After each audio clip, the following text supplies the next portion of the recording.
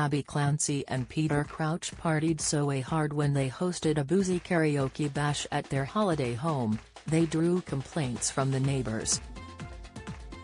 The pool party, hosted by the model and her footy legend husband for around 15 pals and relatives, went on into early yesterday and featured several very loud hits from the 1980s.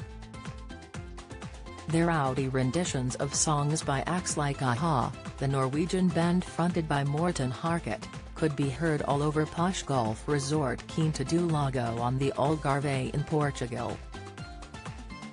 Security staff from a nearby course even took a drive-by after the noise reached their clubhouse. One neighbor said, the music was so loud everyone in the street could hear it, and several came out to see what was going on. Ex-striker and telly-presenter Crouchy, who is 6 feet 7 inches, was going for all the high notes as he belted out the tunes. The source said, you could hear him screaming his lungs out. They were playing all the classics, like a-ha's Take On Me.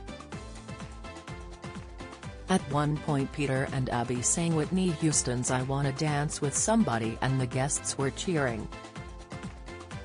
The party started at around 5 p.m. and didn't wrap up until 1 a.m., which did get on some residents' nerves.